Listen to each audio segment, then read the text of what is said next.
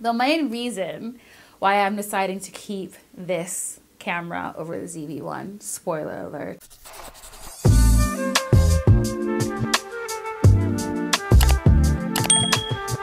Hey guys, it's Ifeyinwa. Welcome back to my channel, or welcome if this is your first time here. I'm going to be filming a super, super quick comparison of the ZV-1 and the ZV-E10 and letting you know whether I think one is better than the other. This I had for about a year and this I've been using for about four or five months. So I feel like I have enough real life knowledge to really give you guys a real review emphasis on real okay i am not a camera expert i'm not going to be talking about shutter speeds and apertures i'm going to give you guys a real life comparison about the practicalities and my experience of using both of these cameras which one I recommend and which one I'm going to end up selling because I am not keeping two of these cameras, okay? So this is your first time here, like I mentioned, my name is Ifeyinwa. I make videos all about beauty, fashion, and lifestyle.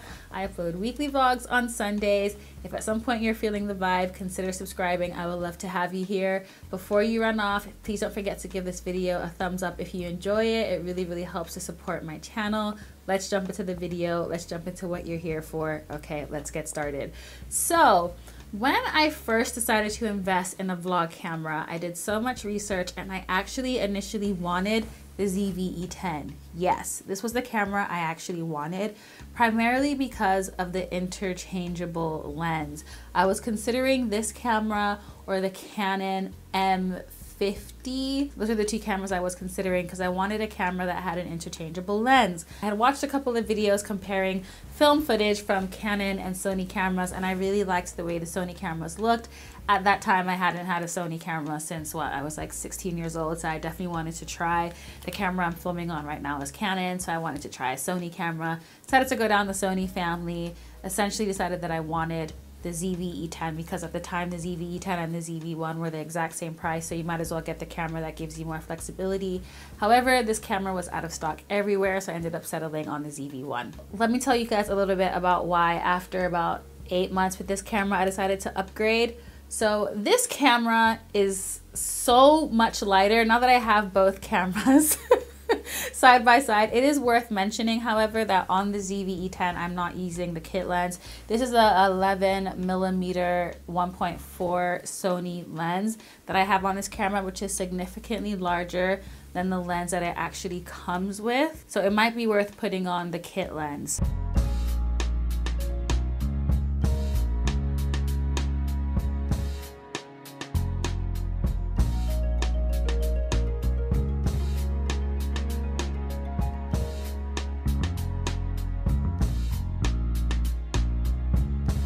Talk about the ZV-E1 for a little bit. ZV-1 is so light, even just holding both cameras in my hand. This camera is tiny, it is minuscule. It is so great for portability if you're the kind of girl that likes to go out with like a small handbag like me on a day-to-day. -day. This camera is perfect. It is so good for vlogging because people don't really notice when you have it in your hand. You can put this in your pocket. My biggest gripe with this camera was how cropped the lens is. I don't know why Sony did that because this camera is marketed as a vlogging camera. And from a vlogging camera perspective, it is just way too zoomed in. Half the time I have my camera on a tripod and even with that, in order to get, you know, a little bit of my background, I have to have it extended all the way out, holding it all the way that way. And by the time you do that, it's no longer a small little pocketable camera. Everyone can see that you're vlogging. So from that perspective, it has started to get a little bit annoying to use. I looked into ordering this Neewer lens that you can put on top of it to make it a little bit more wide.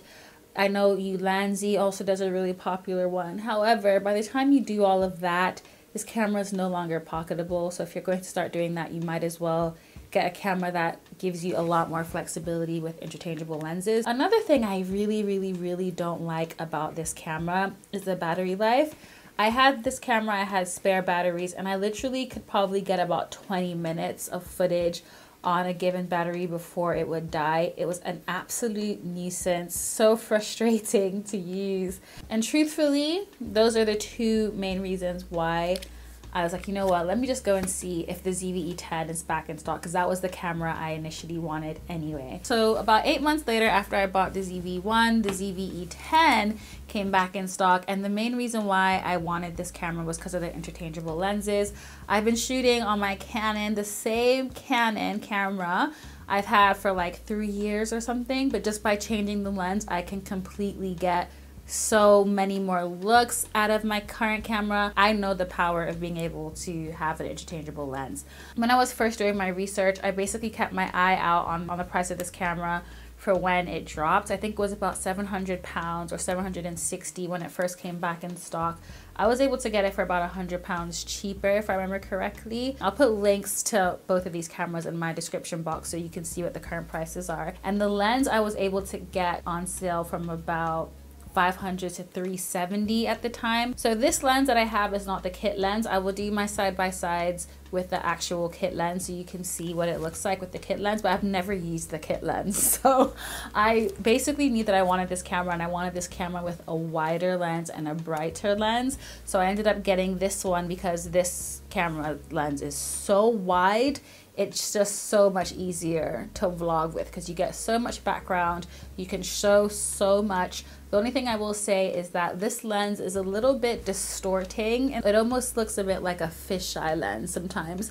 So sometimes I have to crop it in a little bit more. I think the 15 millimeter would be the most natural looking like your actual eyesight type of lens, but that lens was significantly more than this one and I wasn't trying to spend more money. So I ended up going for this one. So I can't really talk about the kit lens because I haven't used the kit lens. But I will do side by sides with the kit lens in the cutaways just so you can see what it looks like, like for like. So let's talk about portability.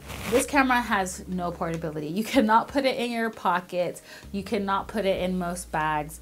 Essentially, when I'm vlogging on this camera, I know that I have to take a tote bag, which is not a big deal because I have a tote bag that I love now. But prior to that, it was a little bit of a hassle. So more times than not, when I'm vlogging in public and I have a small bag, I just hold this in my hand. The more I vlog, I've become more comfortable with vlogging. So even though people might look at me and be like, why does she have a camera in her hand? I don't feel uncomfortable doing it anymore. The battery life on this camera is amazing. That is the one thing I have to mention. Again, I have spare batteries. I feel like I get like an hour of filming with my current battery.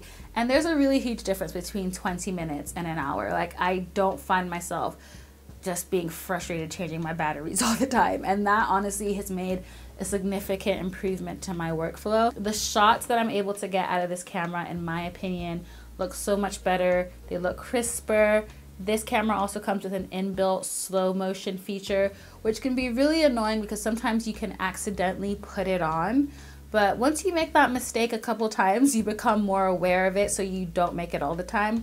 But the slow motion feature on this camera is so buttery smooth. Like it looks so much better than just filming native on the ZV-1 and slowing it down on Final Cut or whatever you use to edit. The slow motion on this looks so aesthetic. The main reason why I'm deciding to keep this camera over the ZV-1, spoiler alert, is even though it's bigger, even though it's heavier, I'm very much so fixated on things looking as good as they possibly can. I love to improve my quality. I like to make my vlogs look as cinematic as possible. And you can definitely get cinematic vlogs with the ZV-1. Don't get me wrong. People do some amazing things on this camera but I just find it a lot easier to get the kind of quality that I'm looking for out of the ZV-1. And I eventually know that at some point I'm going to be able to change the lenses and do even cooler stuff with this camera. I just think this is the kind of camera that you can grow with, if that makes sense. Sometimes when I need to film wider shots, even for my sit down videos, I'll film it on here. That was never a possibility with my ZV-1. This camera just opens up a lot more options. But a lot of the things that were, I guess, exciting about this camera, like the skin smoothing feature on here, the background blur, all of that is also on the ZV-E10. They both have the same, um, oh, look at that. What you call it?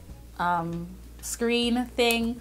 Oh, you see how that just like pops open as soon as you open up the camera? That's another thing to bear in mind with this. Because this doesn't have like the same retractable lens, you have to put the lens cap on and take it off before you can vlog. It's just one extra step.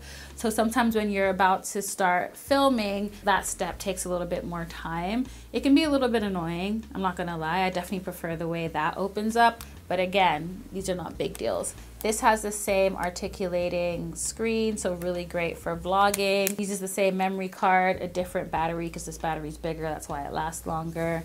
I've never used these cameras for live streaming or anything like that. So again, I can only give you guys my opinions strictly on the basis of YouTube videos and vlogging, even more specifically. So you're not losing anything by upgrading to this camera. The only thing you're losing is the portability factor. You have to decide what's important to you. If the main thing that's important to you is portability, pocketability, then go for the ZV-1. If the main thing that's important to you is the quality of your footage and being able to grow into a camera and having a camera that can maybe do sit down videos as well as vlogs as well as cinematic style videos as well as you know just a workhorse of a camera this is the camera for you. I have some sample footage that I filmed. I will insert that here. I will also link some vlogs that you can watch and see the difference. So, so I'll link my most popular vlog that I filmed on the ZV-1 and my most popular vlog that I filmed on the ZV E10 and you can also have a look and see if you can notice a difference in quality. Okay guys, so this is what it looks like with the ZV-1. My arm is fully extended. I'm sitting right in front of a window this is what it looks like. This is what it zooms into. so it goes this far, zoomed in, and this is what it looks like zoomed all the way out. Okay, now we're gonna go to the ZV-E10. Uh-oh, okay, so I'm on the kit lens now, and this is what it looks like with my arm fully extended. So as you can see, way more going on in the background, way wider. And again, this is with the kit lens. And now I am going to zoom in and for the record, I'm on auto mode on both cameras. And you can see that this camera also zooms way faster and a lot more as well. No one needs to be this close, okay? I figured that I would do a low light test as well. So I'm going to close my curtains and then we're going to see what both cameras are capable of in low light situations. All right guys, so this is the ZV-1. I'm sitting in front of a window with the curtain completely closed. No other lights in my room are on. This is what the camera is doing in a low light situation. As you can see, this camera amazing quality. And this is the ZV-E10 in the same low light situation. So what do you guys think? I feel like they're both equally as bright, but obviously with this one, it's just way wider. I never use this lens, to be honest, and I think I might actually use it for the rest of this week with my regular vlog because I'm curious to compare it to my wider lens. But yeah, this is what this camera looks like.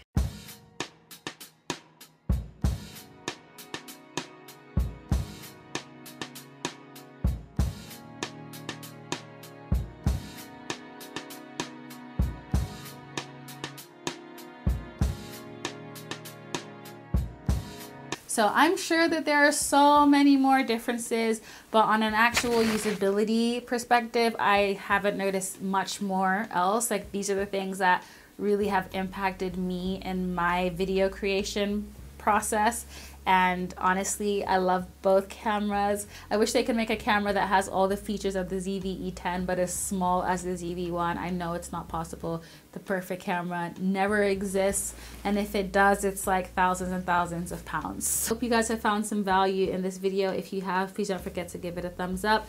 Make sure you subscribe to my channel if you want to see more videos from me and I will catch you in the next one very soon. Stay blessed, stay safe, and take care. Bye.